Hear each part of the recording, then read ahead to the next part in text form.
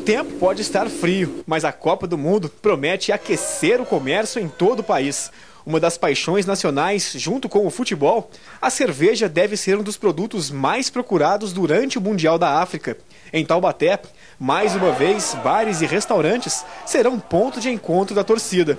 Nesta distribuidora de bebidas, o proprietário garante que vai manter o estoque reforçado e os pedidos já aumentaram.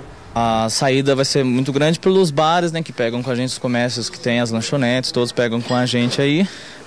E como o jogo vai ser no período da tarde, as pessoas gostam de sair para tomar uma cerveja, então acho que o, a, a margem de venda vai ser maior, com certeza. Segundo o Sindicato Nacional da Indústria da Cerveja, cerca de 20% das vendas concentram-se entre os meses de dezembro e janeiro, no período de maior calor no Brasil. Com a Copa, a expectativa é que o comércio tenha um verão extra em pleno inverno.